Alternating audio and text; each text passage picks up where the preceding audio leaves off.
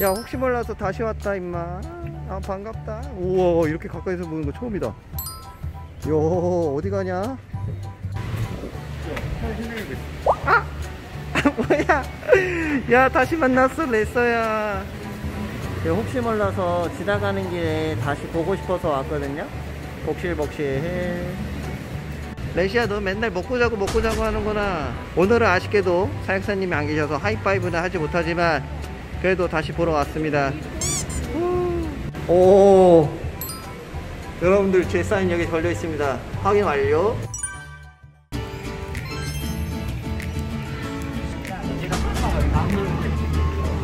자 이번에는 사랑 앵무 만나러 왔습니다. 들어가 보겠습니다. 따라따. 어이 감사합니다. 아, 자 여기서 손을 씻어야 돼요 여러분들 아 우와. 아, 귀엽다. 애기들. 애기들 엄청 많아요. 우선은 사랑 앵무가 뭔지 여기 또 여기 팻말이 있는데요. 아 이게 오스트레일리아에 사는 친구들이고 수명도 이 정도고. 아이고 크기는 귀엽네. 귀요미네. 바로 여기 있습니다. 안, 안녕하세요. 오늘 여기서 이게 제가 먹이도 주고 해볼 수 있는 건가요? 네, 친구를 만나볼 건데요. 네네네네 첫 번째 알록달록한 색깔을 가진 사랑이무 친구하고 네네 25시계란 안까네무 두 친구를 만나볼 거예요. 아 아이고 얘네 벌써 내려왔어요 안녕 안녕 야 뭘 이렇게 쪼 먹냐 자, 먹이주는 먹이 체험하는 방식은 간단해요. 네. 물을 이용해서 이 앵무새 친구들이 좋아하는 맛있는 간식을 줄 거예요. 오 이렇게 한 올로 한번 들어보실까요? 이렇게? 네. 어, 자유의 얼룩하네요. 아직 경험이 없는 아기 앵무새들이기 때문에 이동을 할 때는 살금살금 조심조심 좀 해주세요.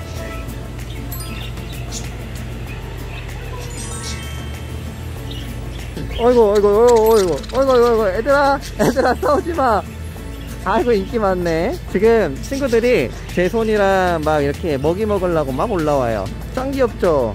얘네들이 사랑의무 같고 저기 오 여기 있다 여기 여기. 왕관행무는 이 친구. 오오오아 진짜라님. 아 귀엽지 않아요? 어 여기 왕관행무 한 마리 왔다.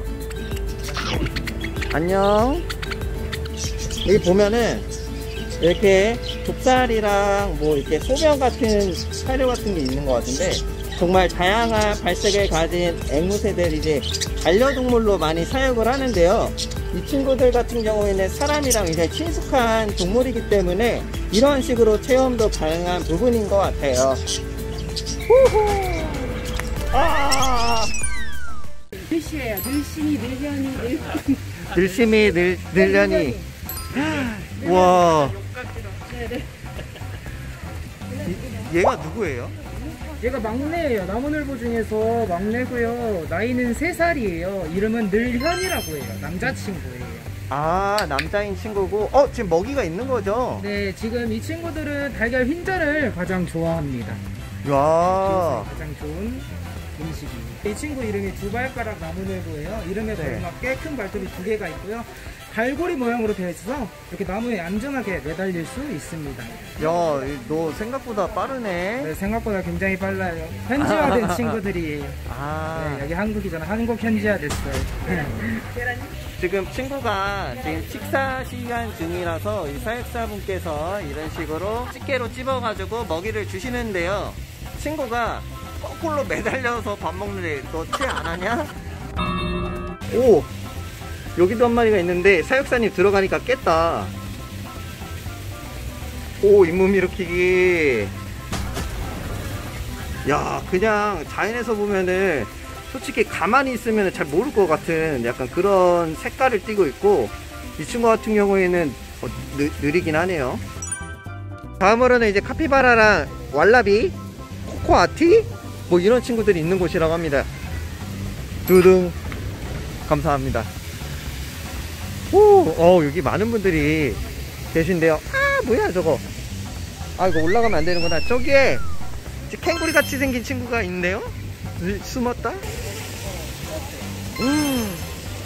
와 여러분들 이 친구가 바로 카피바라라고 하는 설치류 중에서 가장 큰 친구입니다 오 이거 네, 사육사님 근데 얘가 다 큰 게 아니지 않아요? 네, 다큰큰 게? 아니고요. 조금 더 클 겁니다. 지금 음. 현재 32kg 정도 나왔는데 30?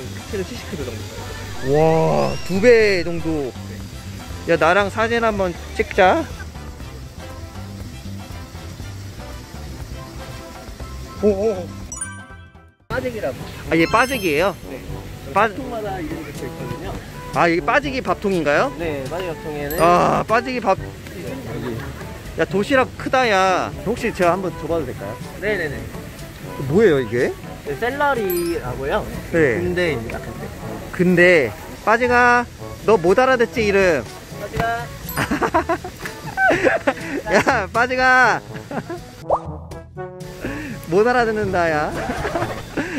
아, 미. 야, 여기 있어, 여기 있어, 여기 있어, 여기 있어. 빠지가 이빨 한번 보여줘봐. 옳지, 아이고 잘 먹는데. 옳지, 잘 먹네. 이 친구가 보면 볼수록 볼매네요. 네, 매력이 아주 철철 흘러넘치시고. 네.